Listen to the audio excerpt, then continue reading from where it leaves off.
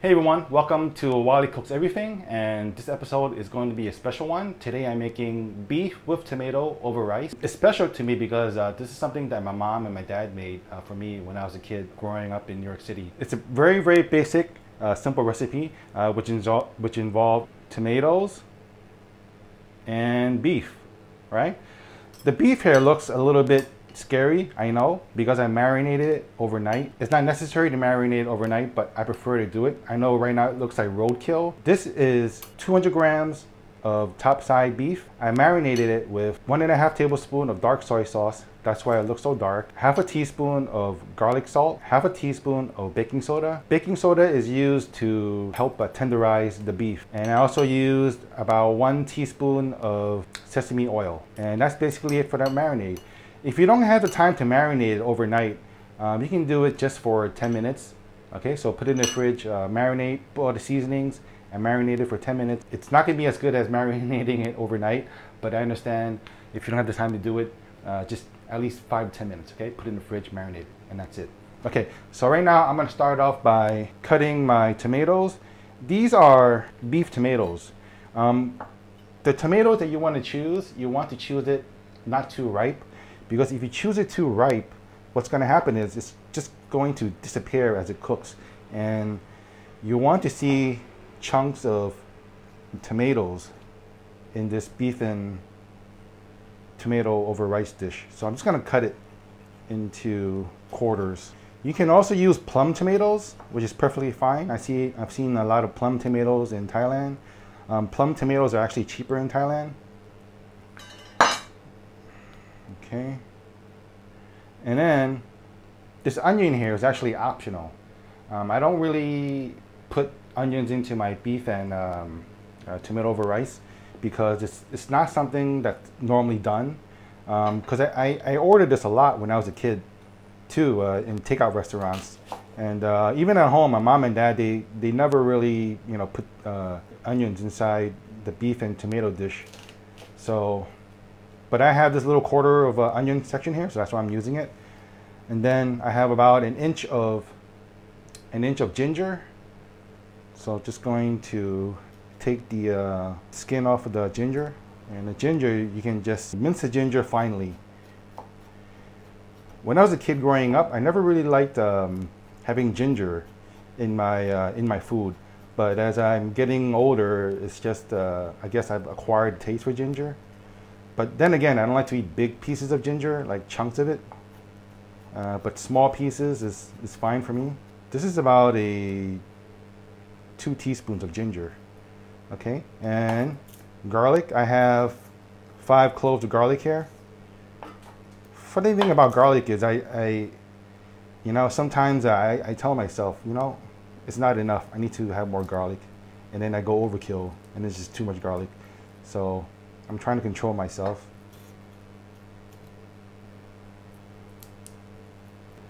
Okay, and then just mince the garlic. It doesn't have to be too fine.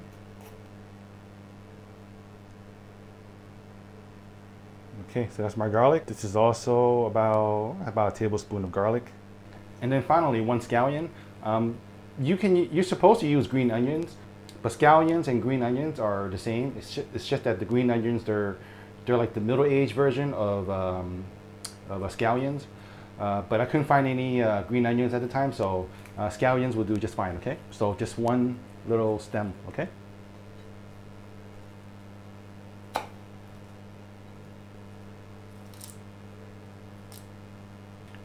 And you don't have to cut the uh, scallions too small.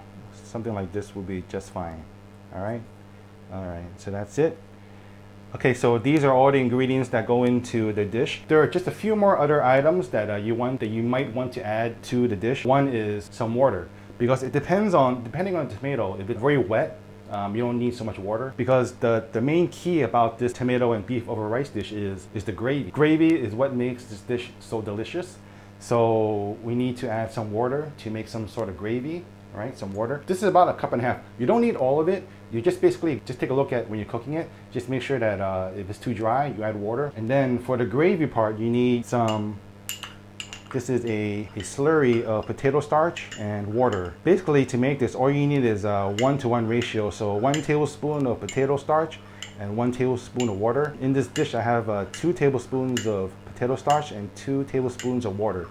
As I mentioned, when you're cooking, you want to look at the dish, right? If you feel that it needs a little bit more thickening, then you would use this.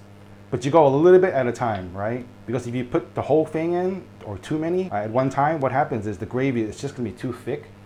Some people like that, but I don't. I like my gravy to be just a little bit runny because I can basically spread it all over my rice. Another optional uh, ingredient is sugar uh, because tomatoes, they're inherently um, acidic. So I'm gonna taste it as I go along. Normally I don't cook with sugar, but sometimes for tomatoes, you need a little bit of sweetness just to sort of cancel out the acidity. Um, so have just you know some sugar ready on hand, uh, taste as you go, and you'll know if you need it or not. All right. So I'm gonna start cooking this um, tomato and beef um, right now over my pan, which is uh, heating up right now. So let's go and do it. So in this pan, I've got two tablespoons of oil and my heat is on medium high because I want to cook the beef first. I want to give the beef a good sear. So my pan is nice and hot, so I'm going to put in the beef. And at this moment, I want to also throw in my ginger. Just spread the beef out.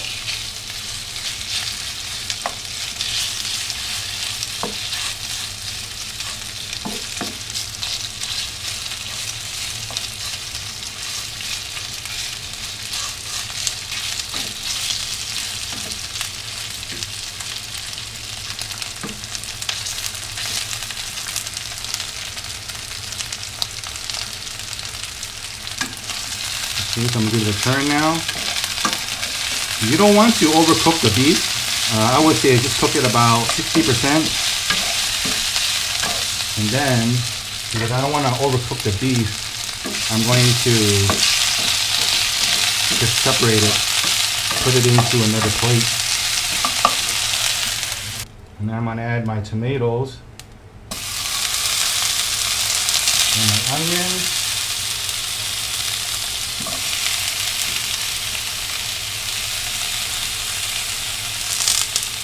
I'm gonna let this cook a little bit. I noticed it's a little bit dry, so I'm gonna add a little bit more oil.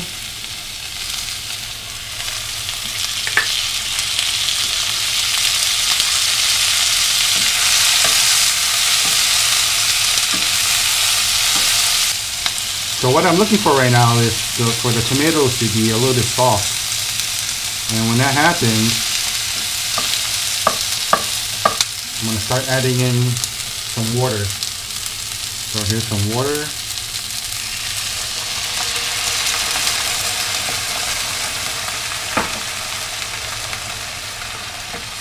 Okay. I added about a half a cup of water. So now you just let this cook down and give the tomatoes a little bit of a squeeze just to help it along. Right now I'm just waiting for the water to evaporate down a little bit and then I'm going to add the garlic because it's almost done. And then here's the potato starch uh, and water mixture. This is called a slurry. And this is what's going to thicken up that water, which is uh, going to be uh, an excellent uh, gravy. Mix it up. As I said, I'm going to put a little bit at a time. I don't want too much because if I do that, it'll be too um, too thick. That's the thing about cooking. Cooking is, you gotta look at it, you gotta taste it. It's not like baking. Baking is more exact. For cooking, you sort of have to adjust. Uh, sometimes a lot. These tomatoes are a little too big, so I'm gonna break it down a little bit. All right, so that's what I'm looking for. And then I'm gonna drop my beef in.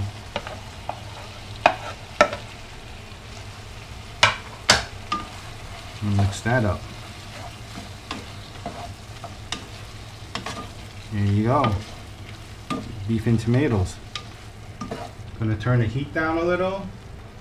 I think I need a little bit more slurry. Just a little bit. I'm gonna taste the sauce, see if I need to add any sugar or more salt.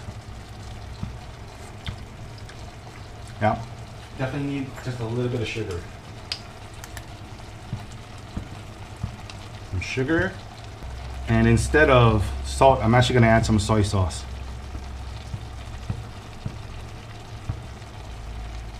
Oh, I forgot to mention, final ingredient, some oyster sauce.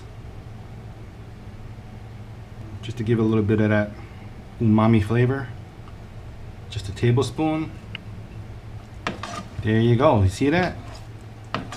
It's got a nice little gravy that's a little bit runny. That's what I'm looking for. Cut off the heat.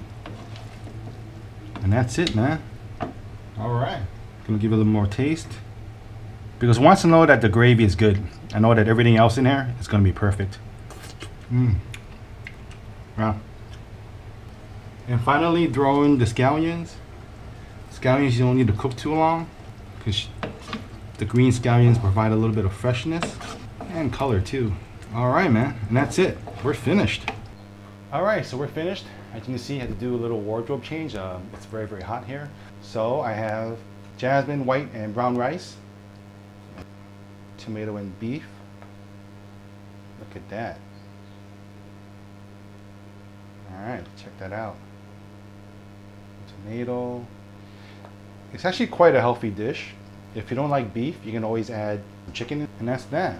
Check that out. Looks good, huh?